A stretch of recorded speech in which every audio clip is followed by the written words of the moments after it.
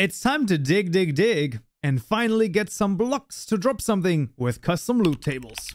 Minecraft modding courses with close to 100 topics ranging from custom tools and armor to custom block entities all the way to custom mobs linked in the description below. Alright, we this back in IntelliJ once more. In this tutorial, we're going to be adding custom loot tables to Minecraft, and this is going to be done in three steps. Step number one, we will add the custom loot table JSON file and I will once again show you the vanilla loot tables, which are going to be an exceptional resource for you to understand any type of loot table basically. The second step involves our blocks being added to some vanilla tags as they are required for our blocks to actually drop something because there's a very specific block behavior property that we have set on our blocks I'll be showing this in a moment. And step number three is going through all those steps again, but also adding the, but also adding custom ore blocks because those loot tables are a little bit crazier. So let's jump into this craziness by first of all going to once again our data folder, tutorial mod, and creating a new directory called loot underscore tables, making sure we write this correctly, loot underscore tables. And inside of there, we want to make another new directory called blocks. Very important here that this is blocks, not block. It is blocks multiple ones. And let's create the JSON file. And the first JSON file is going to be the sapphire underscore block dot JSON. This time, once again, the JSON file name has to match with the name given in the modblocks class right here. And then this basically sort of connects this particular block with this particular loot table. For the ease of everything, I will copy over the contents. However, you have access to those in the description below in the GitHub repository, so you can do the same thing. And once we have copied those over for the Sapphire block, you can see, first of all, we have pools defined over here. Now, in this case, there's only one pool and it has zero bonus rolls, but it has one roll. The roll basically determines, okay, what kind of entries are we taking? In this case, we only have one entry. So what's going to happen is the sapphire block will always drop when this loot table is sort of activated. The condition here simply makes sure that when the block actually gets destroyed by an explosion, that the sapphire block also drops. Now to customize this, really, you just have to change the name of the file and the name of whatever the item is that drops. So basically, I can just drag this into the same folder while holding control, and we can change this to the raw underscore sapphire underscore block. And then here in the entries, I literally just want to say this now drops a raw sapphire block.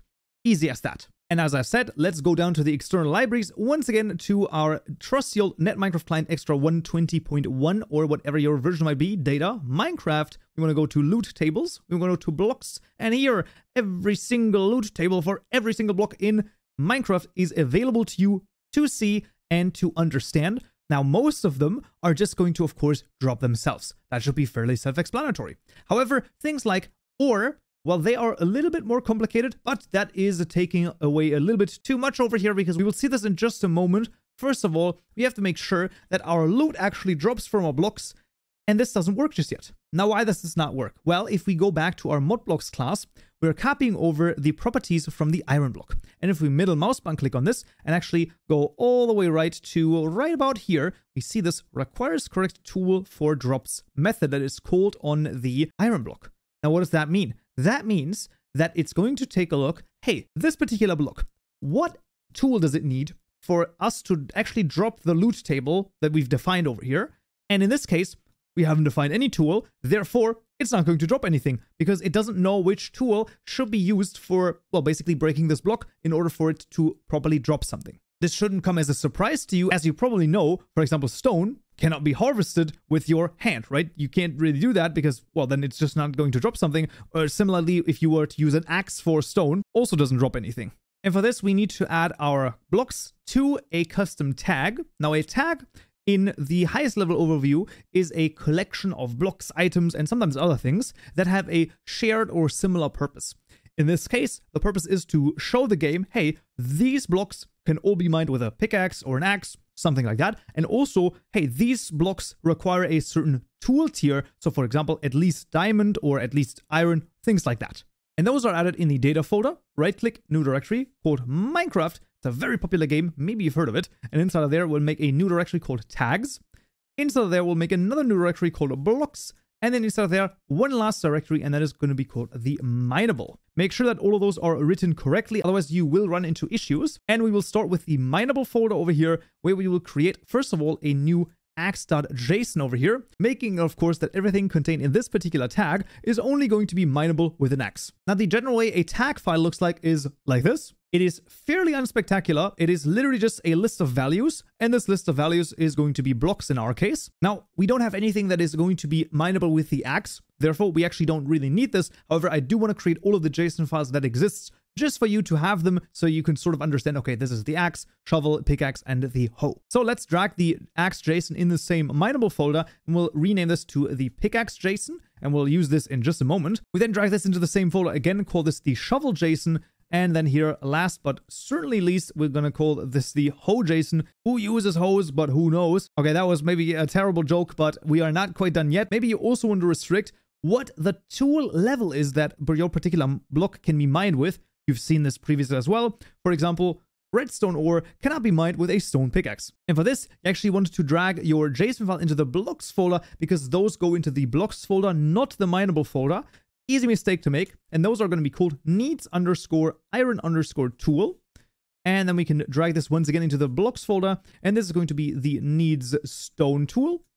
And then last but not least, this is the needs diamond tool. Phenomenal. Let's first of all tackle the pickaxe JSON. Well, inside of here, we literally just put the value. So this is going to be tutorial mod colon sapphire underscore block. And then the second one, which is going to be tutorial mod colon raw underscore sapphire underscore block. And that is it. With this, the sapphire block and the raw sapphire block are now both mineable with a pickaxe, but in this case, with every pickaxe. So this goes from wood all the way up to netherite and beyond in theory. If you wanted to restrict this, we can of course take the value over here and add it, for example, to the needs iron tool for, let's say, the sapphire block. And for the raw sapphire block, let's say we even need a diamond tool here in this case, just for the sake of argument, for me to show you the difference, basically. And before people will ask, yes, there also exists a needs netherite tool tag, but that is under the forge namespace. So in the data folder, you want to right click new directory called forge. And then inside of here, we want to do tags. And then inside of there, we want to do blocks. And then inside there, we can create the new file called the needs underscore netherite underscore tool dot JSON. And then whatever values we put into here are then only going to be mineable with netherite and beyond. So anytime you use one of those needs x tool JSON file, it is always that tier and above that basically works with that particular block. And now we've done all of this, we can now actually go into the game and our blocks are going to drop something for the first time. Let's take a look. Alright, so we find ourselves back in Minecraft, and let's just take a look, swing our stone pickaxe over here for the raw, and, well, what we'll find is that it takes quite a long time, and it is going to drop nothing here in this case, similar to the normal sapphire block. This will also drop nothing, because I believe that we have put it into the iron and the diamond here. So let's take the iron pick to this, and you will find that this will also not drop something. However, if we're going to use the diamond pickaxe, all of a sudden, wham, we are getting a raw sapphire block Similar when we use the iron pickaxe right here, you can see, there we go, a block basically drops. And of course, an axe here, you can already see it takes forever to mine, basically signifying that this is not going to happen. So that's pretty cool. Now, let's add some ores. I'm going to be honest, I'm making this a little bit easier for myself because we're going to add one ore and then I'm going to be copying over the rest of them. And I'll also copy over the JSON files because, well, at this point, a blockstate JSON file, if you've seen the block tutorial, it should be pretty self-explanatory at this point, especially the normal ones for normal blocks, which the ores are, except there's something a little bit different. Let's take a look. So we're going to have another public static final registry object here of type block here in this case, and that is going to be the sapphire underscore ore. Equal to, of course, the register block method. We're going to call this the sapphire underscore ore, and then we're going to make a supplier of a new, and this is not going to be a block, but a drop experience block here in this case, because when you mine an ore, it actually also drops experience, and this is what we also want to have here for our custom ores. This is going to be block behavior.properties.copy, and we'll just copy blocks.stone here in this case. I basically just want the stone for the sound mostly, and we can then basically say maybe this has a different strength, right? Because stone has 1.5 if I recall correctly, so let's do this too, so it takes a little bit longer to break than stone. And then we also want to call the requires correct tool for drop method. Now this is inherited by stone, obviously. However, I still want to call this explicitly just so that you keep it in the back of your mind. And after that closing parenthesis, we can now add a uniform int dot of, and we can say between, let's say, 3 and 6 over here, ended with a semicolon, and there we go, we got a sapphire ore block registered. Now, what is this uniform int craziness? Well, it basically just means that we're going to get between 3 and 6 experience orbs when we mine the sapphire ore. To take a look at the vanilla numbers, you can middle mouse button click on the class name over here, middle mouse button click again, and you can see that, for example, let's say we want to know, oh, what is diamond ore drop? Let's take a look. Let's go all the way to the right. And here we go between 3 and 7. There you go.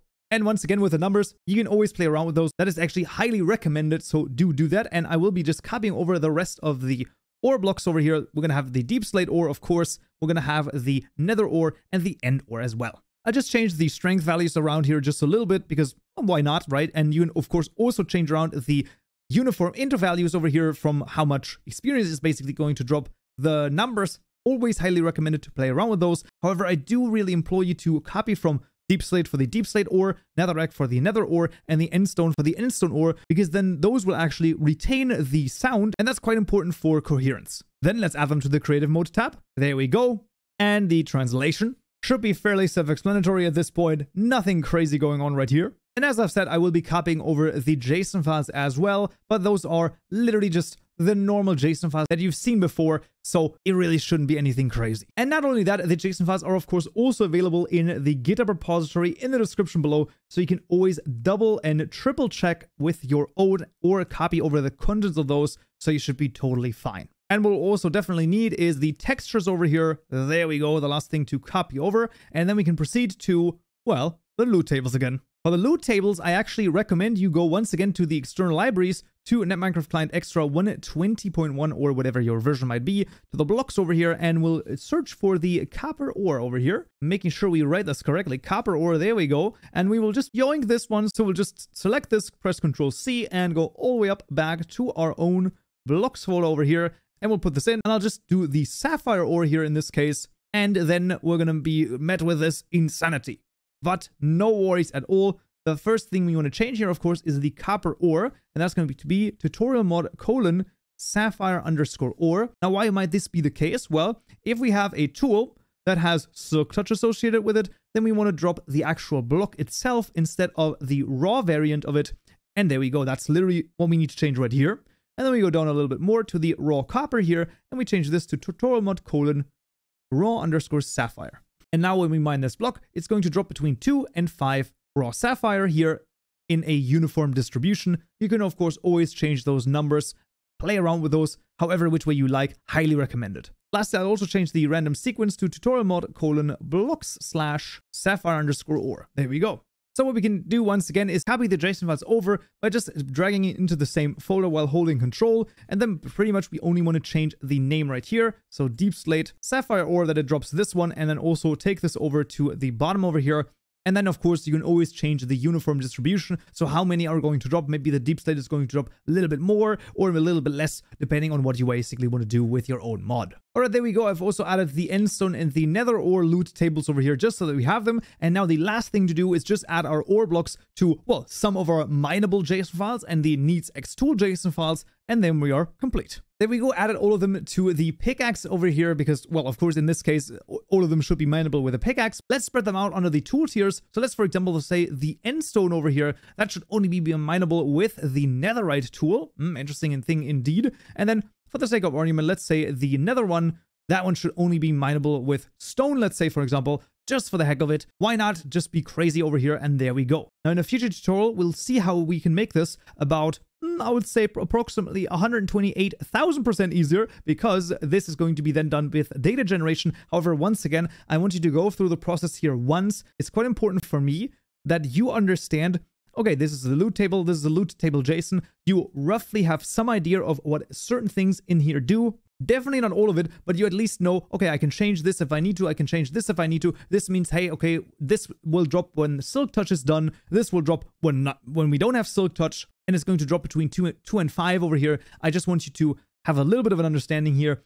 Same thing with the JSON files here for the tags, right? Those are actually also quite important and that where, where they are, why they're there, and that's sort of the general idea. But now let's jump into the game and have our ores drop something as well. Alright, friends, us back in Minecraft, and let's just take a look. Let me swing my pickaxe, and you can see there we freaking go. This works, this works, this should also work. However, this should not work because the end stone ore should only be mineable with the netherite pickaxe. So let's take a look at the diamond one. Shouldn't drop neither. And it does not. And the netherite, and there we go, it does drop. Absolutely freaking spectacular. And of course, the higher tier works on all the other ones as well. Absolutely freaking awesome. And that is custom ores and custom loot tables for blocks added. absolutely freaking spectacular. As always, of course, all of the code is available to you in the description below in the GitHub repository. That's going to be it for this tutorial right here. Next time, we'll make an advanced item right here in this video. Hope to see you there. So, yeah.